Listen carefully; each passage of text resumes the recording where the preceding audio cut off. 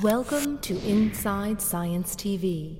Many people run and run and keep on running, hoping to exercise right into a better night's sleep. And many doctors recommend it. I was doling out this advice, but the feedback I was getting back from my patients were that I tried it and I didn't feel any better. Baron decided to study the effects of exercise on sleep, and she found two things. One, hitting the pavement today will not necessarily help you sleep soundly tonight. It takes more time. It's really been shown that exercise improves sleep over at least four, maybe eight. In our study, we found 16 weeks of exercise. We really didn't see the improvement until 12 weeks. And two, a key finding in the study Most people expect that sleep improves with exercise, but we found actually that exercise improved after sleep. researchers found that people exercise less after a poor night's sleep. And a good night's sleep is the key to improving your exercise tomorrow. What sleep influences is motivation, how hard exercise feels,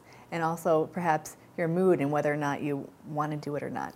In the study, patients felt more tired in the first four to eight weeks, but sticking to an exercise program helped improve sleep by an average of 45 minutes a night, a big deal for someone with insomnia. If they have a poor night of sleep, they shouldn't give up on their exercise and they should basically just go out and do it. So just do it for a better night's sleep in the future. I'm Josh Lebowitz, reporting. Inside Science TV. If you enjoyed this edition, follow us on Facebook, Twitter, and YouTube. Powered by the American Institute of Physics and a coalition of underwriters.